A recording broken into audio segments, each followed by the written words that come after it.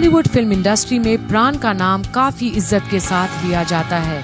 तमाम फ़िल्मों में विलेन का रोल प्ले करने के बाद भी प्राण ने जो सम्मान कमाया, वो बहुत ही कम कलाकारों को नसीब होता है।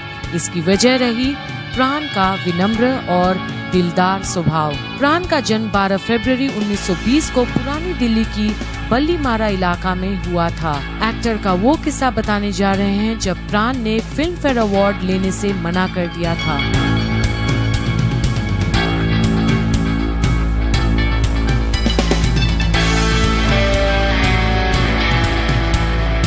प्राण को सह कलाकार के तौर पर तीन बार श्रेष्ठ अभिनय के लिए फ़िल्म फेयर अवार्ड से नवाजा गया। फ़िल्में थी आँसू बन गए फूल, उपकार और बेईमान।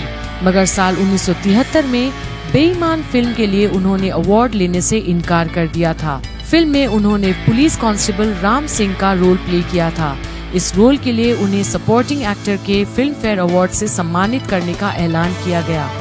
मगर फ़िल्म के लिए उन्होंने अवार्ड लेने से इनकार कर दिया।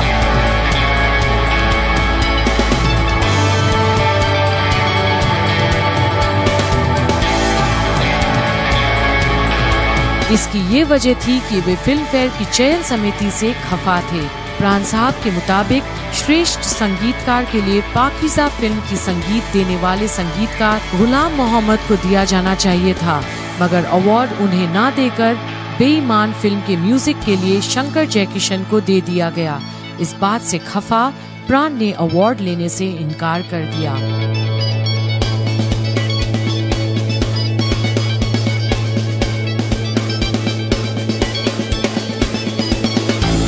प्राण की मूवीज़ के बारे में बात करें तो उन्होंने जिद्दी, आज़ाद, देवदास, राम और श्याम अमर अकबर, एंथनी, बॉबी, गद्दार, धर्मवीर, सन्यासी जैसी फ़िल्मों में काम किया। उपकार और परिचय जैसी फ़िल्मों में उन्होंने अपनी लीग के लिए अलग हटकर रोल प्ले किया था। एक्टर को दादा साहब फाल्के और पद्म भूषण जैसे सम्मानों से भी नवाजा गया था।